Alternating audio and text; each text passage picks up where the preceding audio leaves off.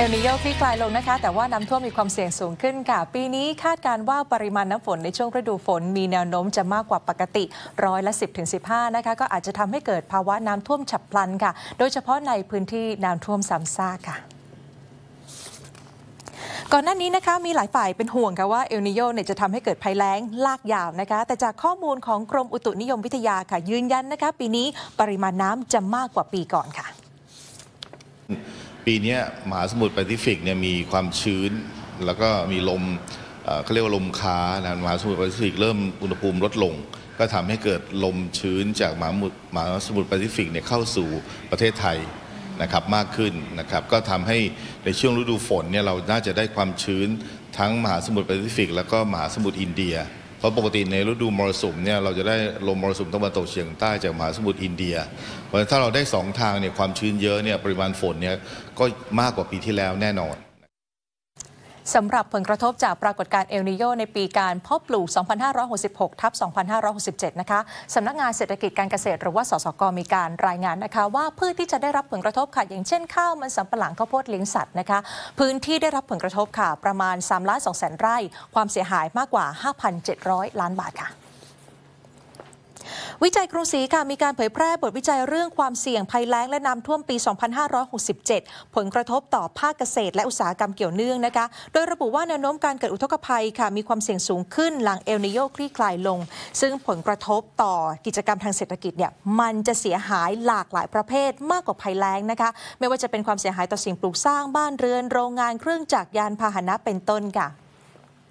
วิจัยกรุงศรีมีการประเมินผลกระทบ 3 ด้านด้วยกันนะคะ 3 เรื่อง ขออภัยค่ะ กรณีแรกนะคะก็คือเป็นการประเมินที่สูงที่สุด นั่นคือมีพื้นที่ได้รับผลกระทบมากกว่า1ล้าน7แสนไร่นะคะ แล้วก็กระทบจ่อ GDP ค่ะร้อยละ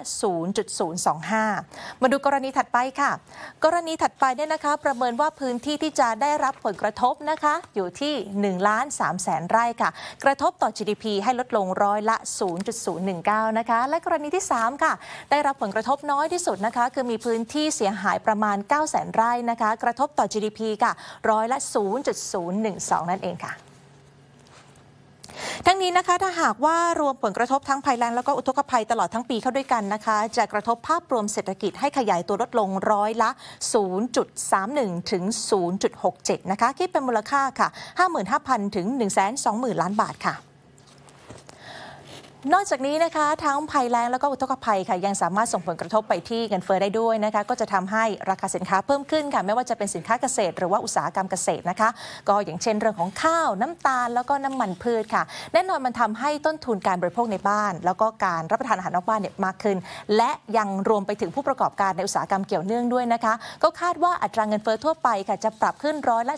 0.32 ถึง 0.35 ค่ะ